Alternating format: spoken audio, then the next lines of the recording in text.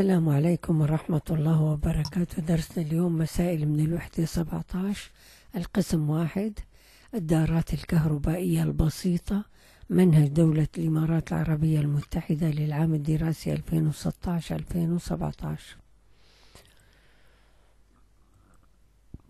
حياتنا عادة فاختر لنفسك أفضل العادات.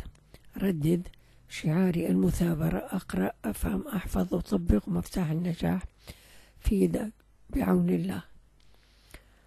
جيب الدفتر اللي بتحل فيه المسائل عشان تراجع منه أيام الامتحانات وجيب الورقة اللي كاتب فيها المعادلات الخاصة بالوحدة 17 واللي أنت جهزتها كل درس بدرسه. احسب.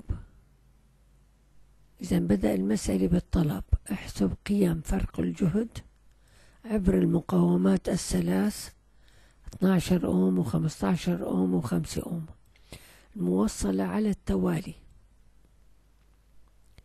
ببطارية 75 فولت.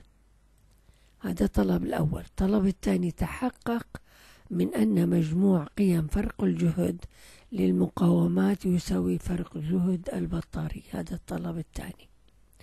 حتى نحسب فرق الجهد بين طرفي كل بطارية كل مقاومة لازم نعرف التيار المار في دائرة التوالي.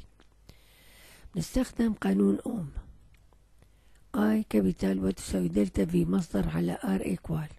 حتقلي R equal مش موجودة لا موجودة اللي هي مجموع المقاومات 12 أوم و15 أوم و5 أوم.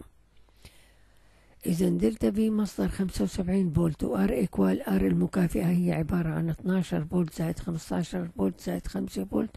لماذا؟ لأن التوصيل على التوالي. بالحساب بتطلع شدة التيار 2.3 أمبير. هي التيار في دائرة التوالي. كمان بنطبق قانون أوم بين طرفي كل مقاومة من المقاومات.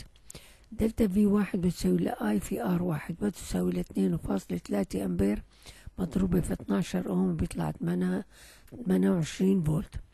بنفس الطريقة delta V اتنين وتساوي ل I في R اتنين وتساوي اتنين فاصلة ثلاثة أمبير مضروبة بخمستاشر أوم بيطلع الجواب خمسة وثلاثين فولت.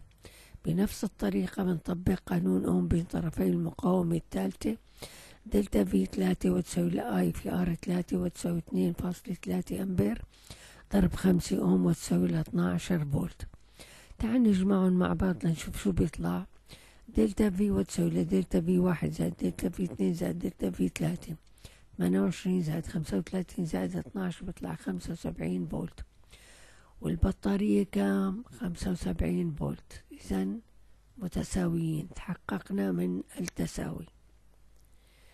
وفي رعاية الله ما تنسونا من الدعاء.